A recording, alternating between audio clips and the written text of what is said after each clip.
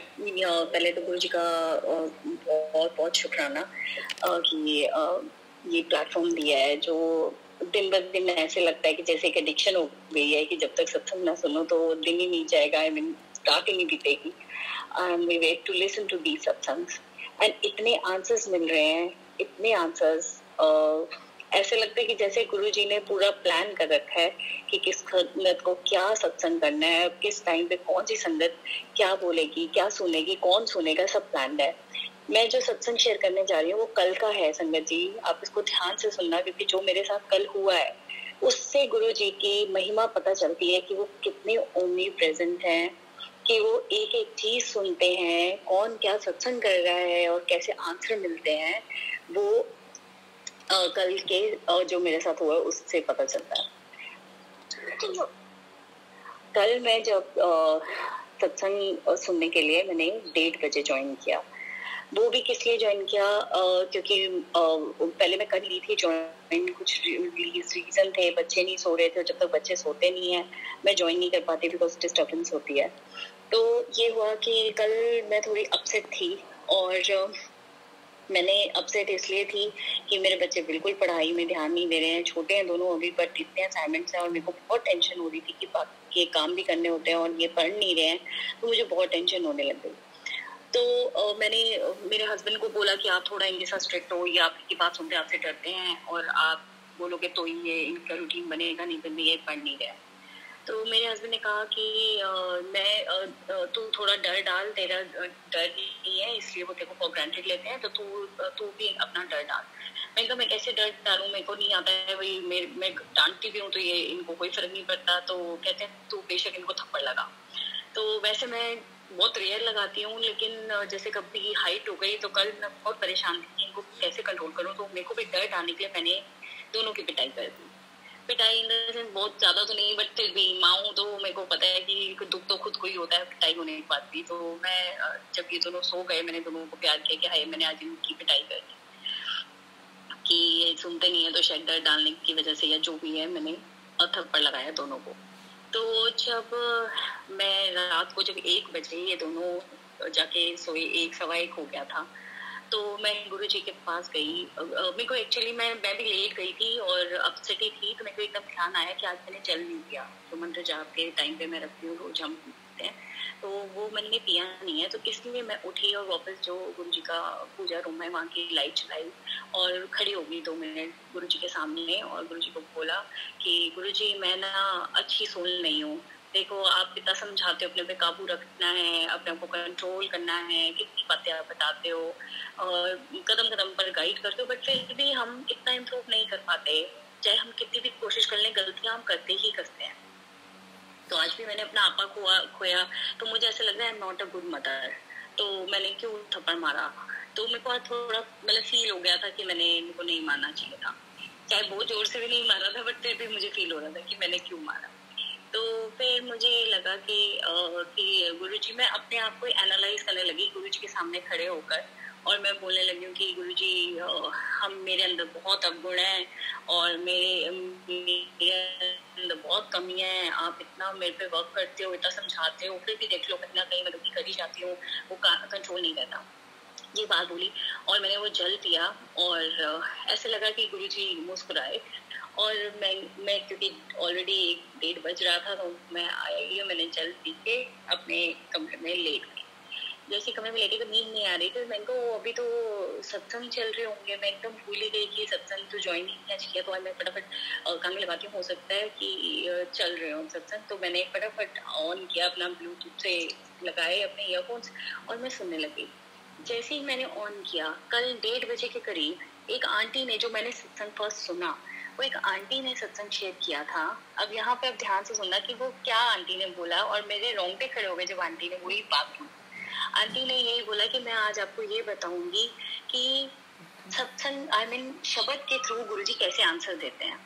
तो आंटी ने जो बात बोली, वो यही बोली कि मैं एक बार गुरु जी को बोल रही थी कि मेरे को एग्जैक्टली उनके वर्ड्स याद बट वो यही बोल रही थी कि मेरे में बहुत कमियाँ हैं और मतलब आप तो बख्शन हारो तो ये कमियाँ हैं। कैसे दूर करें?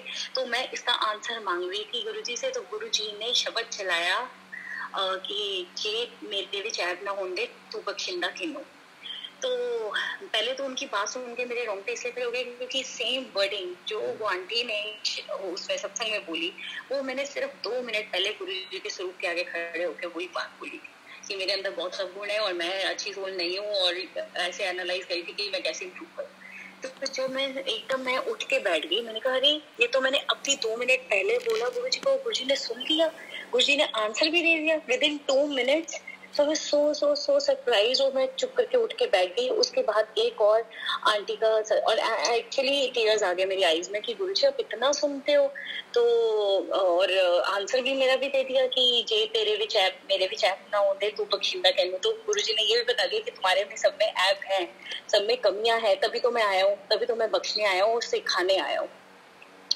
तो मैं बैठ गई और अगला एक और सत्संग जब किसी अंकल ने किया और दो सवा दो के करीब ये जो मंथ जब हुआ और ओवर हो गया। तो ऐसे ही गुरु जी से कनेक्ट हो गई मैंने कहा, मैं तो नींद उड़ गई। मैंने कहा, ये क्या हो गया गुरु जी ने तो इतनी जल्दी उसका आंसर बड़ा दे दिया मुझे कि सुन लिया उन्होंने और आंसर भी कर दिया। तो फिर क्या हुआ कि मैंने कहा, अभी मैं फिर मैं कहा ठीक है गुरु जी मैं ना सोचा तो मैं लेट ही जैसे ही और मैंने गुरुजी को कहा कि, फिर मेरे को नींद नहीं आ रही थी नींद उड़ गई थी। तो मैंने कहा, गुरुजी, मैं ना एक शब्द सुना दो कोई भी। मेरे फ़ोन में संगत जी बहुत सारे शब्द हैं। सेवन एट हंड्रेड शब्द है। और मेरे फ़ोन में गाने नहीं होते, सिर्फ़ शब्द ही होते हैं। मैं अपना सत्संग खुद बैठ के गुरु जी के सामने करती हूँ या अपने शब्द सुन रहे होते हैं तो मैं हमेशा शफल करती हूँ, शफल लगाती हूँ। मतलब उस पर जाती हूँ सॉन्ग्स पे सॉन्ग्स पे जाके शफल करती हूँ। तो जो मैं ये कहती हूँ गुरु जी आपने जो सुनाना है, वो शब्द सुनाओ। मैंने कभी भी खुद सिलेक्ट करके कभी कोई शब्द नहीं सुना।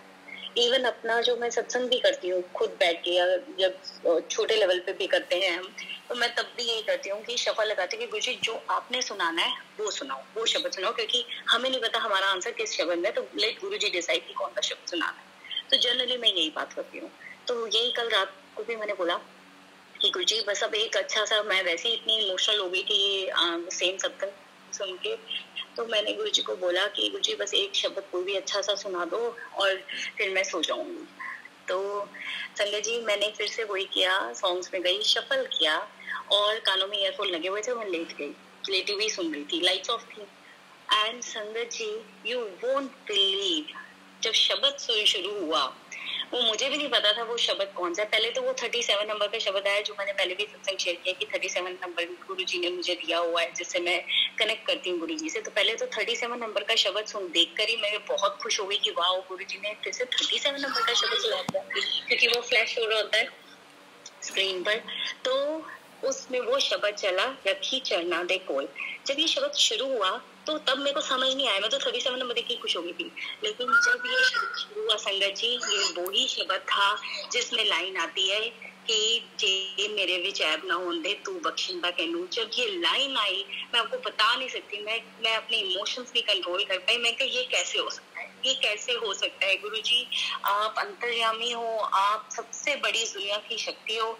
ये रब के सिवा कोई नहीं कर सकता। किस उनको कैसे पता? हुआ उन्हीं को पता है आई I मीन mean, उनको सब पता है कि मैंने उनसे क्या अरदास की क्या बोला। उन्होंने मुझे सत्संग के थ्रू आंसर दिया। उन्होंने मुझे शब्द बताया और मेरे फ़ोन में वो ही शब्द 800 शब्दों में से वो शब्द चला। मैं आपको बता नहीं सकती कि मेरी क्या हालत हुई उस टाइम पे। गुरु जी आपसे बड़ा कोई नहीं। आपसे बड़ा कोई इस दुनिया में है ही नहीं, परम शक्ति आप ही हो, क्योंकि ये चीज़ें सिर्फ़ रब कर सकता है, ये कोई नहीं कर सकता। किसी को भी नहीं पता कि मेरे, मैंने क्या मन में उनसे सवाल किया, किसी को भी नहीं पता कि क्या सत्संग में मैंने सुना, ये सिर्फ़ मेरा पर्सनल एक्सपीरियंस था और गुरु जी ने मुझे फिर से कनेक्ट होके बताया कि वो ही शब्द मुझे सुना दिया कि जे मेरे विचार ना होंगे, तू बख्शिंदा तीनों। शुक्राना गुरु जी, मैं जितनी तारीफ़ करूँ गुरु जी की, जितना शुक्राना करूँ उतना कम मैं क्योंकि वर्ड्स कम पड़ जाते हैं, लेकिन गुरु जी की महिमा नहीं आप वो जो एक्चुअली करते हैं, वो डिस्क्राइब नहीं की जा सकती है। वो वर्ड्स छोटे पड़ जाते हैं कि मैं बोलूँ तो बोलूँ क्या गुरु जी के बारे में। शुक्राना गुरु जी ऐसी सब संगतों को जोड़ी रखना, सबके विश्वास को पूरा करना, सबके दुखों को दूर करना। और बिल्कुल सही बात है, जो अंकल ने बोली कि ये हम लोग कोई नहीं होते, ये ग्रुप चलाने वाले कोई कुछ नहीं है। ये सब कुछ हर चीज़ गुरु जी की प्लानिंग से होता है किस संगत ने सुनना है किस संगत ने सुनाना है, कौन सी संगत कब ज्वाइन करेगी, हर चीज़ गुरु जी के अकॉर्डिंग होता है। शुक्राना गुरु जी सब आपकी रजा है, सब आपकी प्लानिंग है। शुक्राना गुरु